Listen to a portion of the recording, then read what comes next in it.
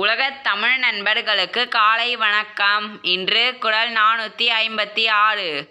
பொருட்பால். அதிகாரம் நாற்பத்தி ஆறு. சிற்றினம் ஜெயராமை. குரல் மனந்தூயார்க் கெச்சம் நன்றாகும் இனந்தூயார்க்கு இல்லை நன்றாகா வினை? மனந்தூயார்க் கெச்சம் நன்றாகும் இனந்தூயார்க்கு இல்லை நன்றாகா வினை? பொருள் மனம் தூய்மையாக பெற்றவர்க்கு அவருக்கு பின் எஞ்சி நிற்கும் புகழ் முதலியவை நன்மையாகும். இனம் தூய்மையாக உள்ளவர்க்கு நன்மையாகாத செயல் இல்லை. மனம் தூய்மையாக பெற்றவர்க்கு அவருக்கு பின் எஞ்சி நிற்கும் புகழ் முதலியவை நன்மையாகும். இனம் தூய்மையாக உள்ளவர்க்கு நன்மையாகாத செயல் இல்லை. மனந்தூயார் கெச்சம் நன்றாகும் இனந்தூயார்க்கு இல்லை நன்றாகா வினை என்று திருவள்ளுவர் கூறுகின்றார். நன்றி மீண்டும் நாளை சந்திப்போம். வணக்கம்.